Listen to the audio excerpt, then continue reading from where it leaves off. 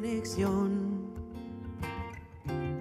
Sintiendo mi corazón mientras poco a poco cae el sol, un poco de anhelo por amor. Meditación. Alegría, belleza y amor, una indescriptible sensación, lo único que importa es tu intención. Tranquilo. Las olas del mar, el amanecer aparecerá y yo sigo perdido. Muchas gracias por estar nuevamente con nosotros en una nueva edición de Conexión Vital, un programa de prevención y educación en salud. Cada día agradezco al Todopoderoso las posibilidades que nos da para desarrollar los diferentes programas de nuestros parques de la salud. Este es un campus terapéutico que para nosotros es nuestro monasterio de los parques de la salud, donde llevamos a cabo varios proyectos preventivos. La salud mental, sin lugar a dudas, juega un papel prioritario en el desarrollo, en la evolución y en el pronóstico de la enfermedad. Pero nos entretuvimos los médicos tratando con antiinflamatorios el dolor, con antipiréticos la fiebre, con antidiarreicos la diarrea, con antitusivos. Y realmente más allá de la enfermedad existe la salud mental. La Universidad Manizales, un equipo de profesionales en diferentes áreas de la salud, Medicol, que es una reconocida entidad IPS de Manizales que trabaja salud mental. Hemos hecho una, un trabajo interdisciplinario con los parques de la salud para desarrollar un proyecto que inició con un solo día, que era el Día para tu Alma. De ese proyecto se desarrollan siete días. Nace un programa de siete días. Y ustedes dirán, siete días, Señor mío, pero ¿por qué? Como digo yo, o siete días en un proceso de estudio, capacitación y acompañamiento, o dos o tres meses en un hospital psiquiátrico o en una clínica. Yo quiero hoy compartir este espacio con John Jairo Olarte Ávila. Él es psicólogo clínico, una persona que se dedicó a investigar y a estudiar la salud mental. Es docente de, de la Universidad Manizales en pre y posgrado, pero además es una persona supremamente buscadora de todos estos caminos que nos abran diferentes puertas terapéuticas. Y hoy vamos a hablar de salud mental y el programa de transformación del alma que tenemos en los parques de la salud de siete días. Muchas gracias por estar con nosotros y bienvenida. No, a ustedes, a ustedes gracias y siempre, siempre experienciando y, sintiendo este espacio que cada mes nos reúne eh, y nos invita a preguntarnos, a reconocer nuestra humanidad, quizás lo más humano a reconocer esa condición, como lo diría Jean-Paul Sartre, esa condición que nos invita a existir de una manera libre, porque es a lo único que estamos realmente condenados, a ser libres. Lo expresa él en uno de sus textos. Eh, en el momento, hace dos años aproximadamente, Jorge, lo recuerdo, que nos reuníamos la primera vez a, a dialogar en la posibilidad de crear un proyecto que permitiera a las personas no solo eh, tener una experiencia de tipo terapéutica, sino que además de ello se formara en lo que realmente sucede en sus asuntos neurobiológicos, en sus asuntos psíquicos, en sus procesos espirituales correlacionados con su mundo psíquico.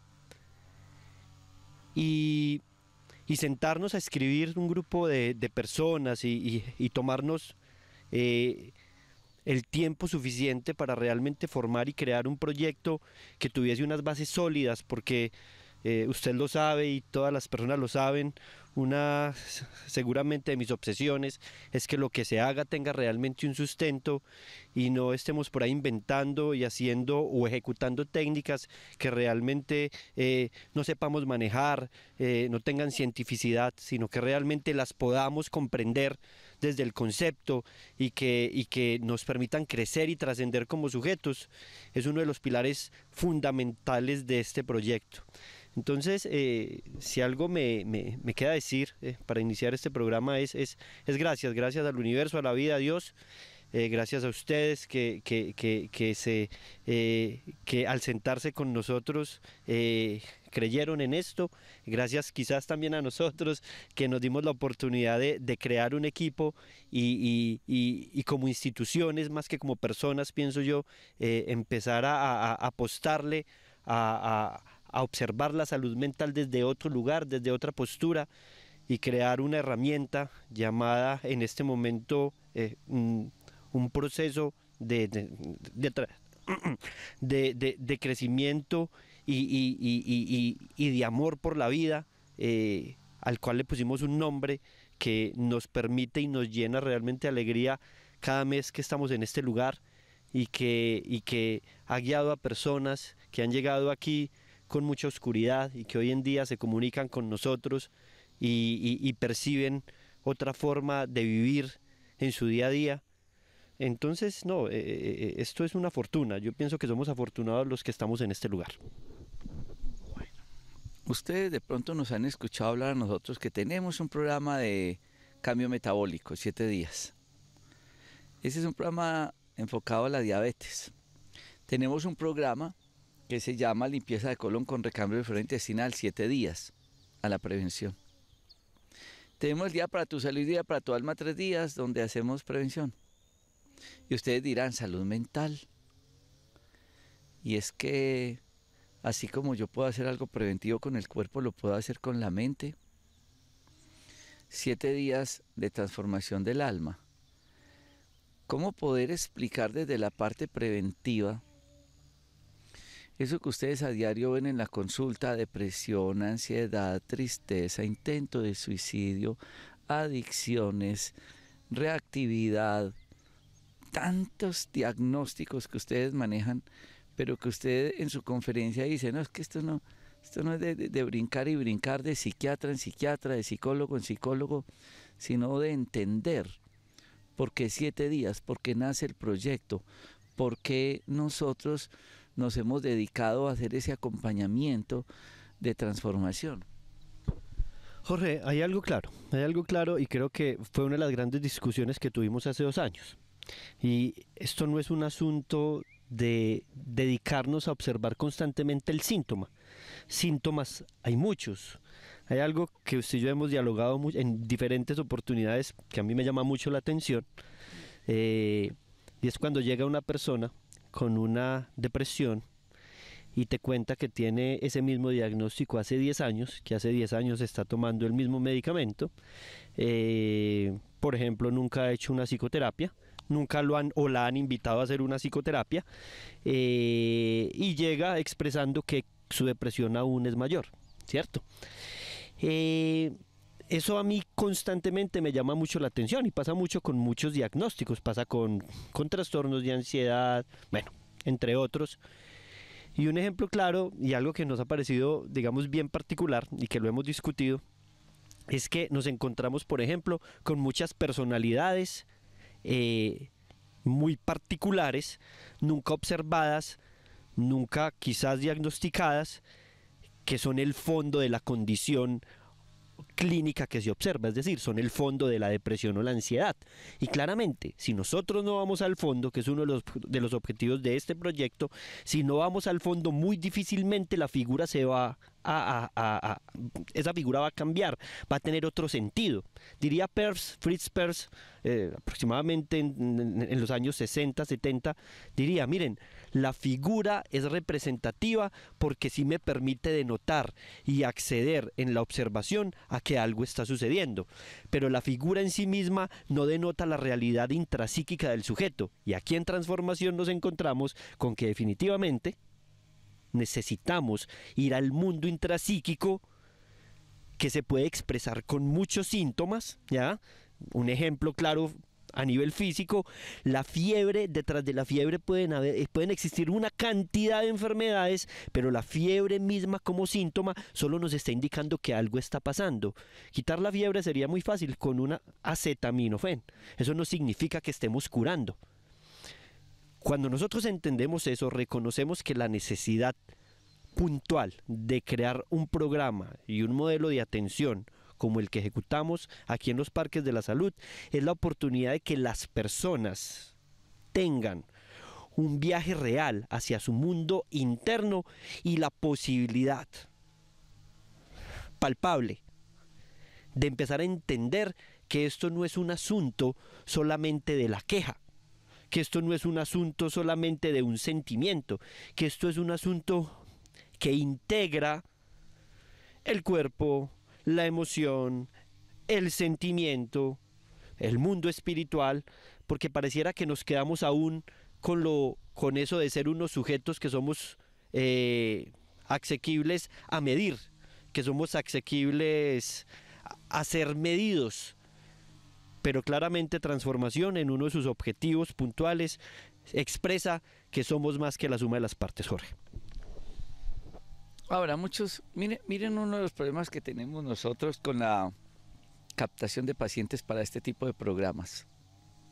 Yo no necesito. Es que yo eso es algo solo. No, yo me tomo algún medicamento.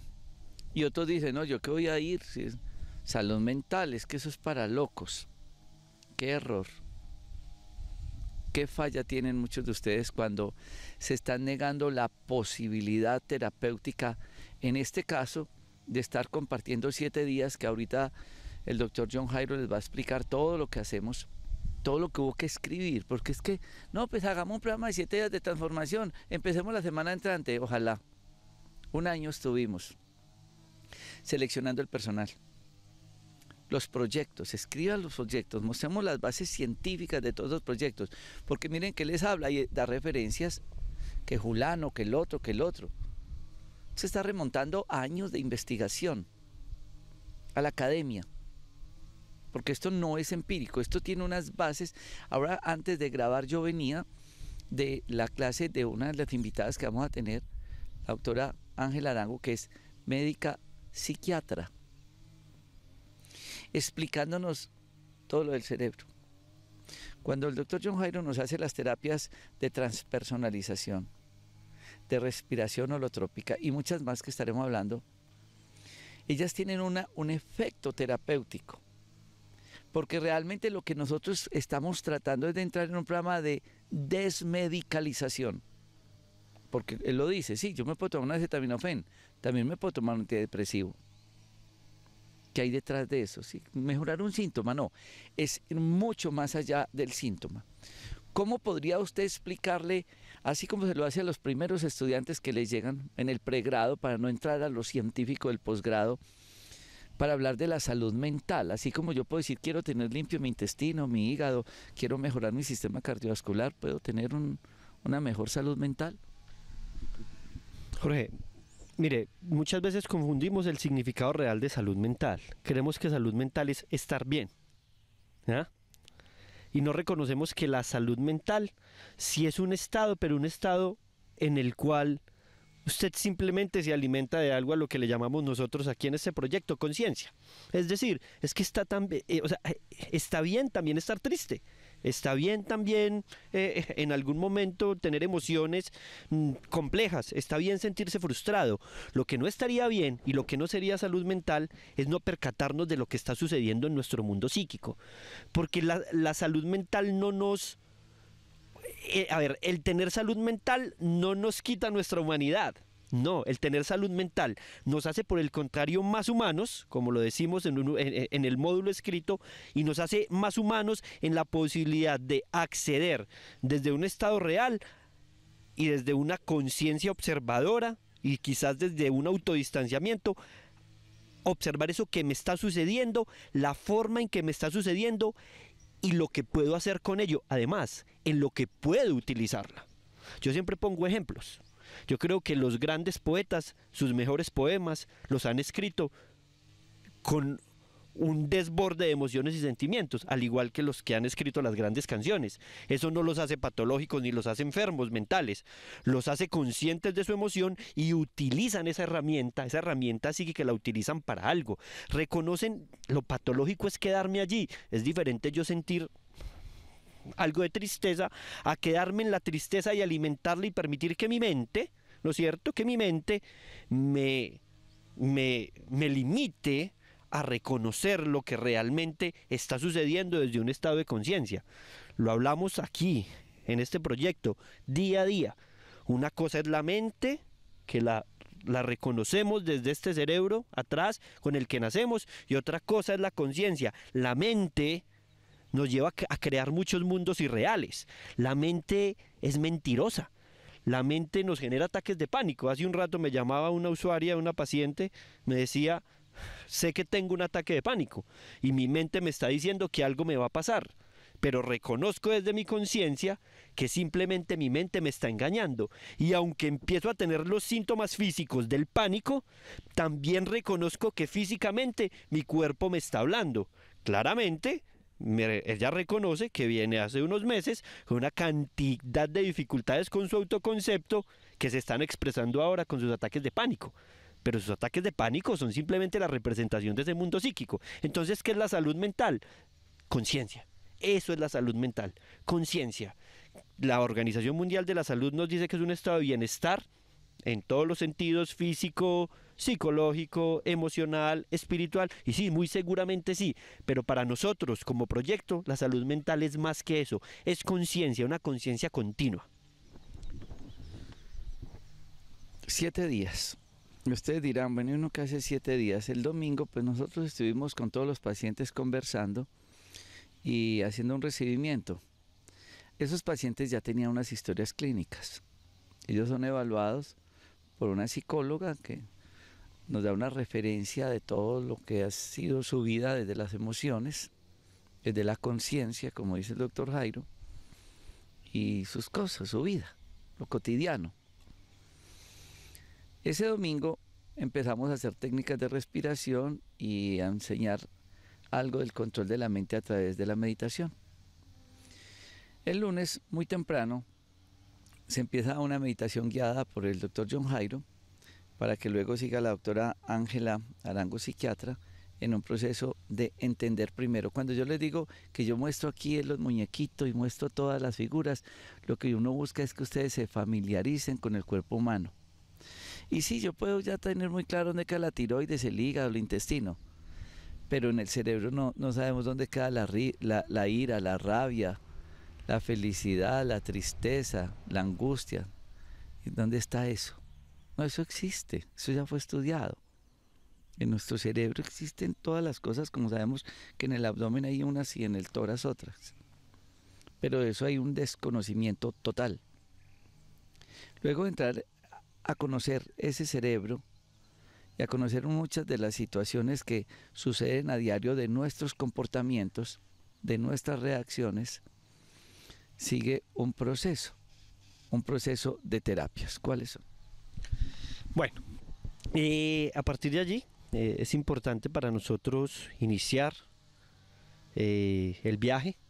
A esa primera etapa le llamamos el encuentro, es empezar a reconocer nuestra integralidad, eh, neurobiológica, es empezar a reconocer nuestro cuerpo de una manera real y objetiva, pero además es entender que la respiración es un camino y es un camino de tipo integrativo.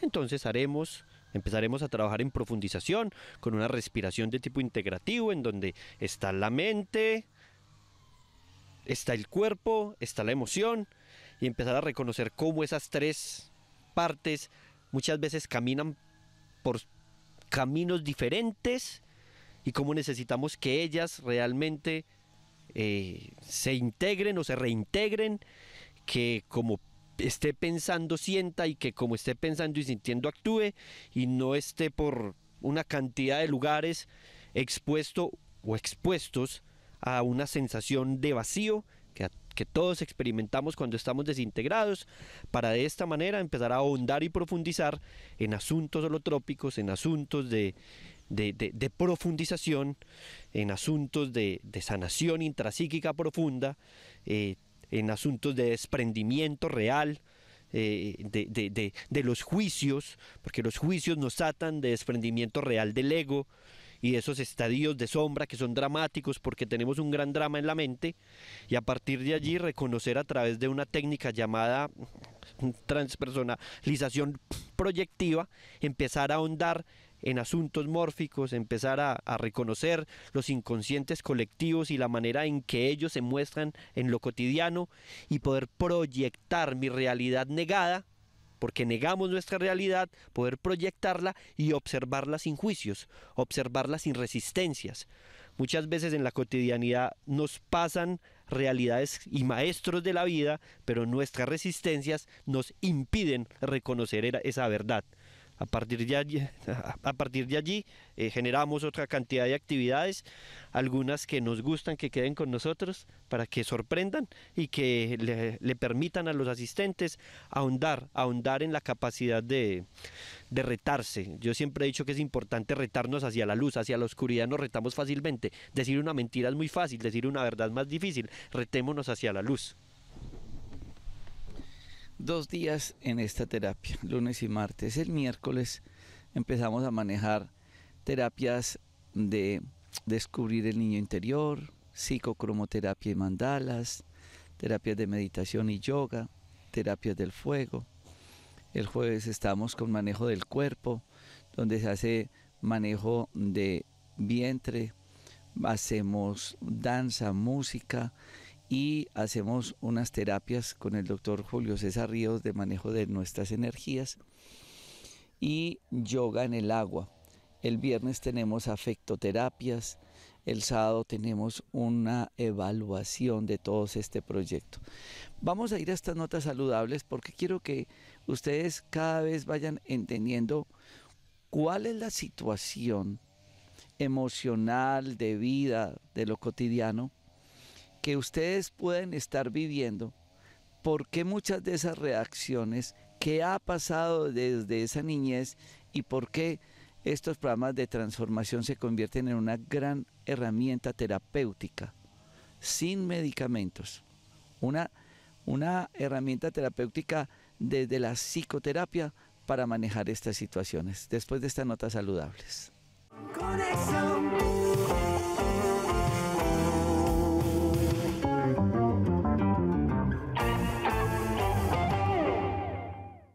Yo creo que en el campo de la psicología y de la psiquiatría existe lo mismo que con la medicina, muchos diagnósticos.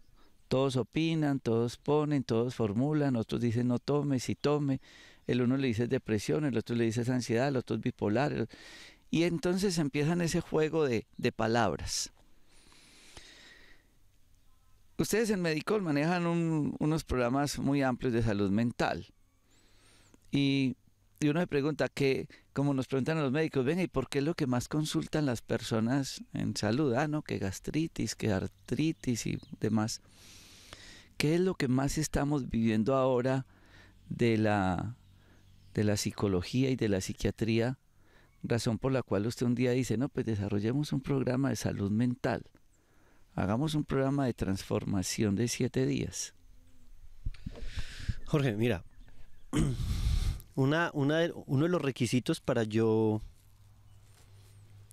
crear un programa de salud mental, recuerdo que eh, a Sebastián, con quien creamos el programa de Medicol de Salud Mental, así que se lo impuse, es no vamos a hacer lo mismo. No vamos a hacer consultas en donde la persona venga, esté 10 minutos o 15 y se vaya y vuelva a los 3 meses.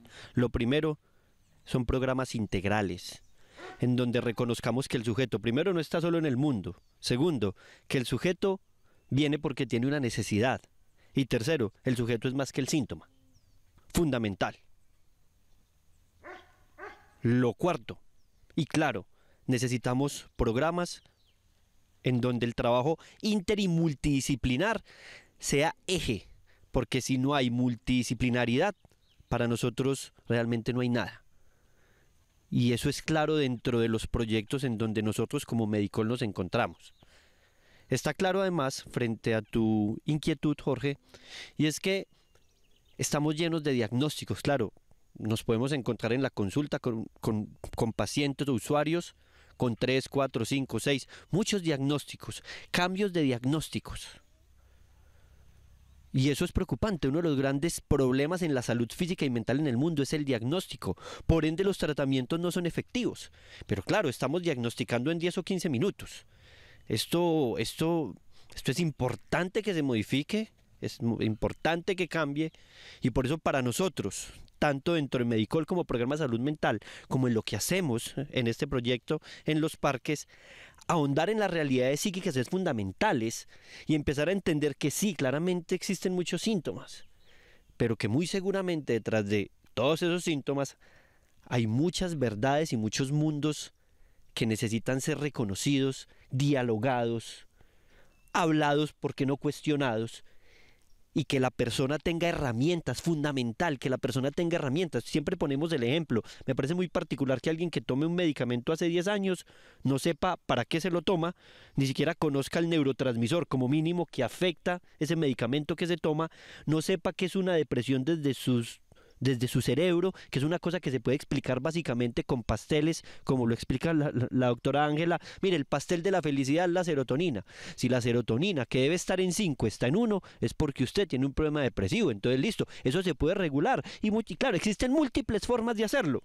En algunos momentos, bueno, tenemos que reconocer que hay variantes genéticas donde hay un asunto ya biológico de base, o sea, que mi familia todos han sido depresivos, bueno, yo ya tendría que evaluar muchas cosas, pero si es una depresión por la experiencia, tengo que evaluar otras.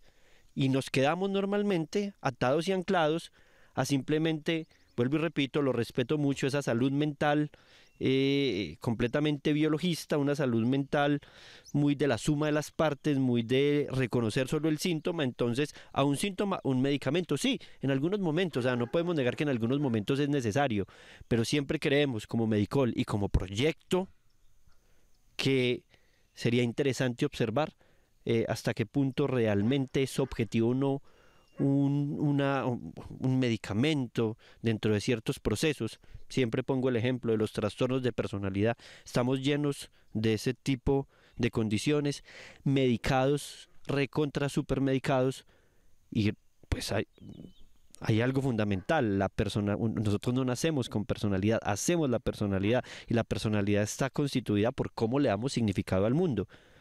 Y necesitamos enfrentar ese mundo psíquico.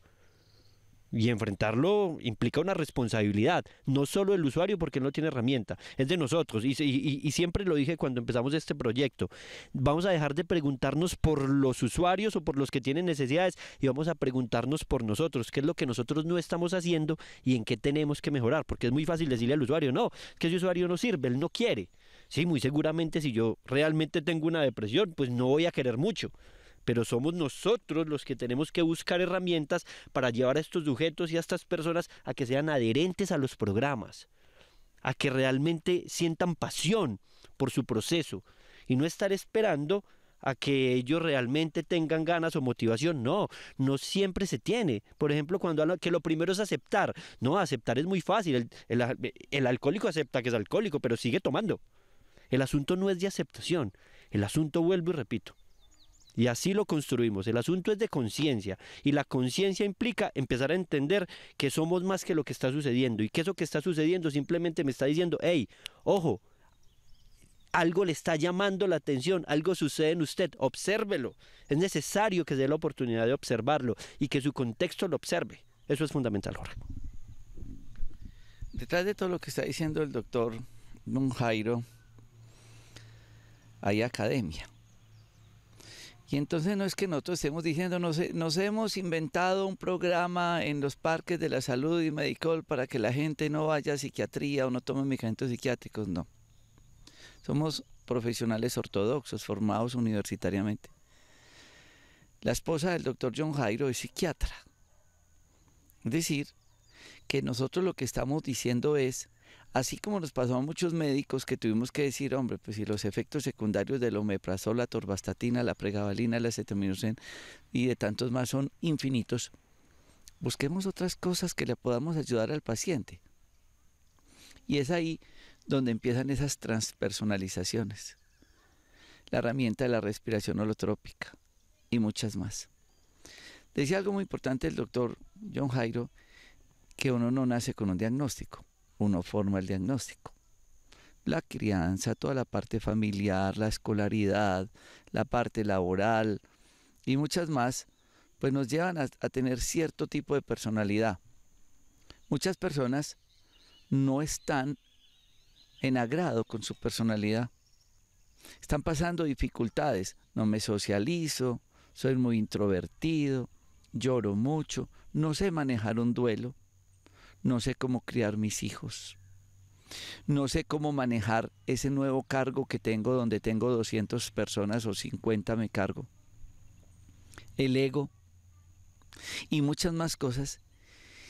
Y creo que todas esas situaciones fueron las que nos llevaron a desarrollar ese tipo de, programas. Porque es que yo que he tenido que visitar compañeros, eh, compañeros médicos que han estado en unidades de psiquiatría, uno dice, no, pues qué bueno que esto que están viendo ustedes acá fuera su hospital de psiquiatría o su finca de psiquiatría y de psicología. ustedes nos ven con animales y toda esta construcción como para biodescodificar un poco nuestros pensamientos y muchos dirán, están grabando este programa en India, en Bután, en Katmandú, no, estamos en Chinchiná.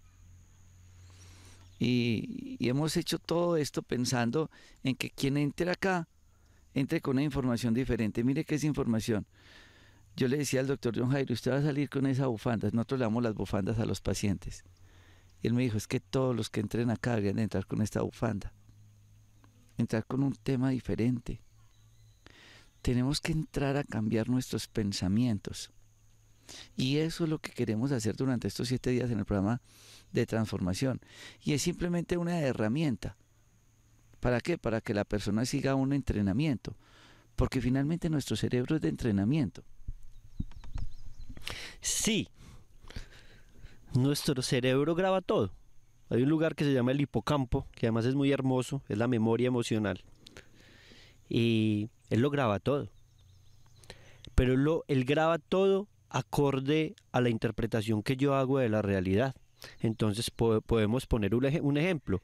Jorge Enrique recuerda de los mil teteros que le dieron, él recuerda dos que fueron deliciosos. Pero John Jairo por cosas de la vida y la interpretación de, esa realidad de los 5.000 que le dieron, en donde 4.998 fueron ricos, e, esa estructura recuerda los dos vinagres. Entonces para Jorge, ese tetero hizo que su condición oral fuese sana, pero para este sujeto en donde su hipocampo recuerda a esos dos, su condición oral es patológica. Es una cosa muy particular lo que sucede, Jorge, en nuestro mundo psíquico y desde las estructuras neurobiológicas. Claro, nosotros somos experiencia, nosotros somos memoria, pero la pregunta es cómo estamos interpretando nuestras memorias, cómo estamos interpretando las experiencias, hasta qué punto nosotros somos quienes nos encargamos desde la cotidianidad de seguir alimentando las mismidades como le llamo yo. Entonces, por, a ver, otro ejemplo. Si yo sé que mis relaciones afectivas han sido patológicas, complejas, porque siempre he tenido la tendencia a buscar a mi papá en mis relaciones afectivas o a mi mamá en mis relaciones afectivas, pues lo primero que yo debo tener consciente es que cierto tipo de particularidades me llevan a repetir esas historias. Entonces, la persona que yo me encuentro en Juan Valdés y que nos miramos y es una atracción así, no lo dude, ahí está su conflicto ahí está la cosa que seguramente para usted no sería sana, porque nosotros atraemos desde la memoria psíquica y desde la memoria energética esas condiciones que para nosotros podrían no ser lo más sanas. Cuando yo empiezo a entender esto, empezamos a hablar de conciencia, empezamos a reconocer que lo primero que yo debo aprender a hacer dentro de este camino es a decirme no, porque yo no, yo no necesito decirle no a nadie. Usted puede tener alguien que ama a su lado, pero ese alguien que ama, usted siente que le hizo mucho daño, esa persona se le puede acercar Y usted debe entender que si va a tomar distancia a esa persona, usted no necesita decirle no a esa persona, usted tiene que decirse no a usted. Es que guardar la posibilidad de consumir una sustancia no está en la sustancia misma. Yo soy el que guardo la posibilidad. Yo lo digo en uno de los programas allí en Medicol. Mire, usted no reincide cuando reincidió en el alcohol, en el juego, en, en, en, en su consumo de X o Y cosa. No, usted reincidió en el momento en que psíquicamente y de manera muy particular y quizás muy secreta, usted siempre guardó la posibilidad, es más, la guardó negándosela a usted mismo. Por eso este camino no es hacia ningún lugar, es hacia usted.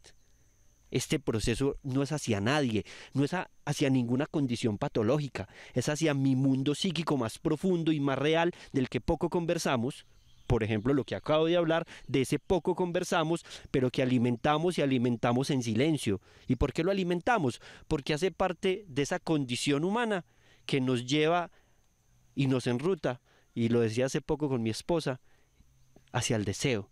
Y el estar deseantes que no es que sea bueno o malo, simplemente el no reconocer ese objeto deseante de la vida, de la cotidianidad, de los otros, de las cosas, nos hace sabotearnos y constantemente estar tomando decisiones que nos llevan a la sensación, como lo diría Heidegger, a una gran sensación de vacío, a una gran sensación de la nada.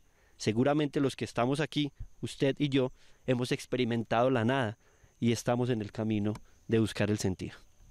Antes no iban a consulta, es la misma cantidad de pacientes que están afectados a la, salud mental o sin lugar a dudas lo que llamamos ahora la evolución, el desarrollo, la tecnología y todas esas cosas nos han llevado a, que esto se convierta cada vez en un motivo más de consulta. Sí, esto es multifactorial mm, y es, y es una, el asunto de la globalización siendo hermoso, siendo muy productivo, ha creado muchas complejidades a nivel de la salud mental. Eh, claramente los medios tecnológicos en niños, niñas y adolescentes, claramente la información, la accesibilidad a una cantidad de informaciones nuevas, eh, quizás no en el momento adecuado, eh, generan una cantidad de condiciones de alto riesgo. Yo pienso que estamos en una sociedad llena de riesgos y, no todos tienen las herramientas para enfrentar los riesgos, especialmente los riesgos psíquicos. Los riesgos psíquicos, como usted decía ahora, no se ven. ¿Ya? Entonces son muy silenciosos y eso es lo más complejo. La enfermedad mental, si así le queremos llamar, o las condiciones mentales complejas, se ven desafortunadamente cuando las personas están en unos estados ya avanzados a nivel psíquico. Es por eso que estos programas buscan prevenir. Claro, seguramente muchas personas vienen porque ya tienen algunas condiciones y quieren entender qué está sucediendo, pero qué bueno que a este programa miran muchos jóvenes intentando encontrar un camino, intentando reconocer su mundo intrapsíquico antes de que sean diagnosticados con una depresión o con un trastorno de personalidad o con una ansiedad o con un trastorno de alimentación.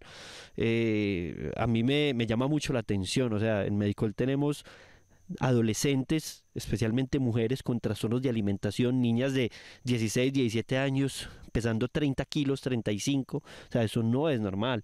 Y el asunto de, de, de, las redes sociales, de querer verse, de proyectarse en figuras, de, bueno, eh, es una discusión que nunca va a parar, pero, pero, pero es un asunto que nos tiene que llamar la atención. Se nos van a morir los jóvenes, o sea, y son estos, estos jóvenes los que se van a hacer cargo de nuestro mundo. Entonces, ¿quiénes van a hacer cargo, cargo de este mundo?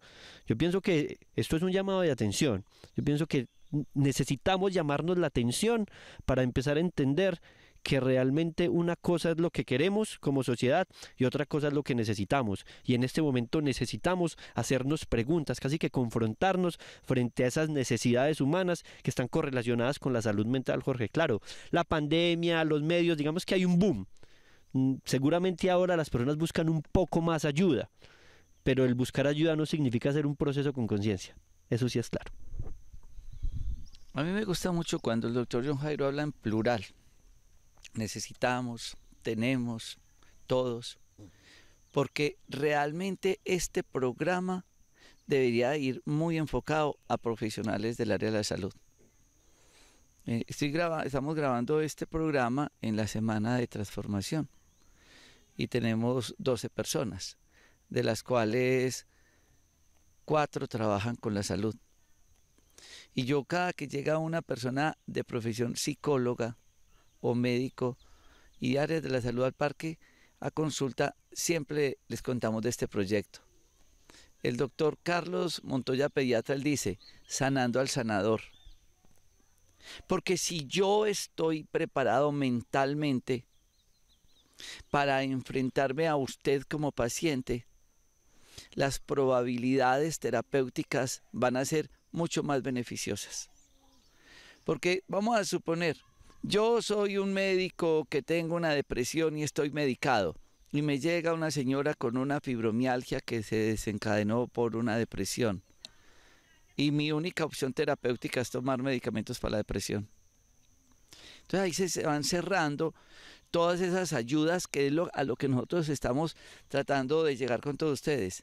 Hay otras herramientas. Hay otras ayudas terapéuticas. Hay otros componentes que nos pueden servir a nosotros en ese despertar y en ese camino y eso se las estaremos contando después de estas notas saludables.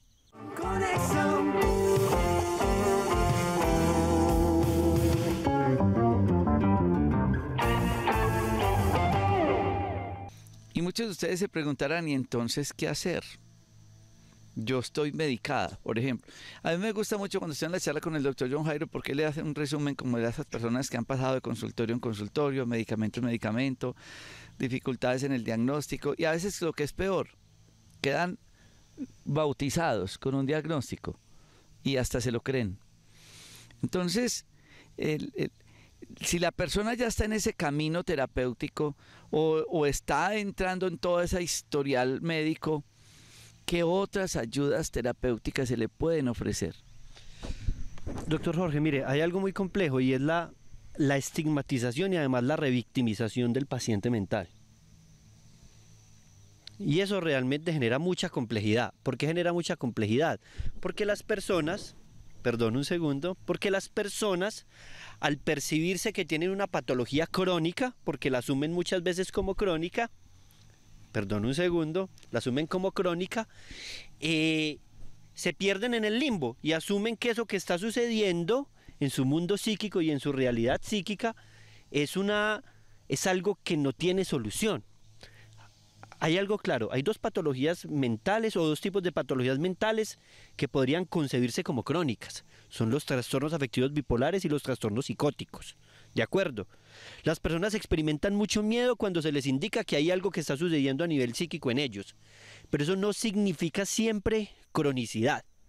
Existen alternativas. Existen personas que pueden ser funcionales a pesar de su diagnóstico, pero sí necesitan dar con grupos de profesionales que no solo los atiendan 15 minutos, les den un medicamento, sino que realmente se les haga un acompañamiento, un acompañamiento interdisciplinar y multidisciplinar, además integral, que conlleve de verdad, o sea, en una verdad absoluta, a que el sujeto tenga la posibilidad de generar en su vida una transformación y un cambio. Esto no se trata solo de ser funcionales, Jorge. La funcionalidad es importante y la salud nos ha invitado a la funcionalidad, pero la funcionalidad ha hecho que muchas personas terminen suicidándose siendo muy funcionales. Y estamos en un fenómeno de suicidio en el mundo, porque las personas son funcionales, pero no son felices, no están tranquilas. Esto no es un asunto de funcionalidad, esto es un asunto de humanidad. Esto no es un asunto de solo quitar síntomas. Claro, si hay un malestar psíquico, chévere que me ayuden a quitar el síntoma, chévere que yo esté un poquito más calmado y más tranquilo, pero esto está más allá del síntoma, está más allá de, de cualquier condición. Estamos con humanos llenos de vacío, estamos con humanos en la nada y terminan suicidándose. Esto nos tiene que llamar la atención. La semana pasada se suicidó un terapeuta muy reconocido en la ciudad. Esto, o sea, esto que está sucediendo es de humanidad. Esto que está sucediendo nos tiene que llamar la atención e invitar a crear nuevas formas de entender lo que es la salud mental. Qué bien. Yo creo que esto es un, un programa más de reflexión. Ustedes dirán, ¿y dónde es todo esto? Estamos acá en el Parque de la Salud, en el sector de Chinchina, donde tenemos toda esta construcción para poder hacer este tipo de terapias. Yo quiero agradecerle al doctor John Jairo, sigue ahora en terapia con los pacientes, pero ha sido una persona que le ha aportado mucho al proyecto de transformación del alma específicamente en terapias como la transpersonalización. Y hay muchas más terapias que a él no le gusta contarlas en medios de comunicación porque nos gusta la sorpresa. O por lo menos que la gente se dé esa oportunidad de, de, la como del, del asombro se llama. Y esto es lo que vamos a hacer en, durante estos siete días, algo muy lindo, algo muy maravilloso. Y miren, él, él con tristeza dirá, su amiguito, un terapeuta, se acaba de suicidar. Es que esto afecta también al, decano, al rector, al, presidente, a todos. Estamos, estamos saturados de todo lo que es la parte funcional y esa parte funcional termina acabando con, esta parte emocional y afectiva.